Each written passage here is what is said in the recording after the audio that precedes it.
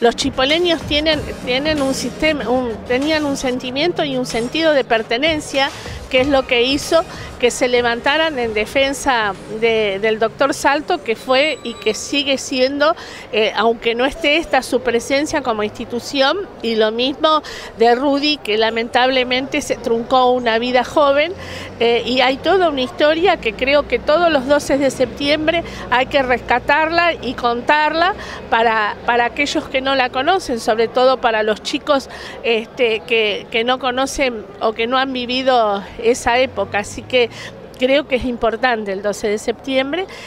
y, siempre el movimiento popular patagónico, por el hecho de, ser salto desde ese lugar, es que eh, lo conmemora y con, películas y con historia y que gente que todavía está presente pueda contarla, ¿no? En una época de gran movilización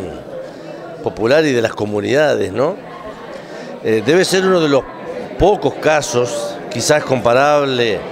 no en la dimensión política, pero, pero comparable a, lo que fue el 17 de octubre, es decir, el pueblo en la calle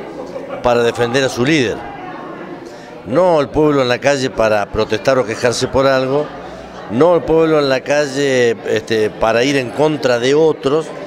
no el pueblo en la calle por un localismo, sino el pueblo en la calle para defender a su líder. Creo que el chipoletazo marcó eh, para los chipoleños eh, un antes y un después, y marcó esencialmente una fuerte personalidad para la ciudad. El chipoletazo le dio esa, impronta de que los chipoleños mm, tenían ideas propias, proyectos propios, que los chipoleños tenían la, la certeza de que solo se podían resolver los problemas. Ya veníamos del Colegio Belgrano, veníamos de la biblioteca, veníamos de las primeras cuadras asfaltadas en todo el Alto Valle, este, de un desarrollo comunitario en los barrios muy fuerte, de la escuela de folclore, de la escuela de cerámica, es decir, había una, una fortaleza en la ciudad muy importante y creo que cuando los militares este, deciden sacar al doctor Salto, es como que la gente no quería perder todo lo que había logrado con su líder y la simpatía que tenía por su líder y sale a la calle a defenderlo. ¿no? Pero esencialmente en la historia creo que es un antes y un después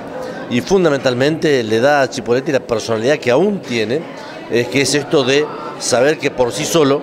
por sí solo la ciudad puede salir adelante.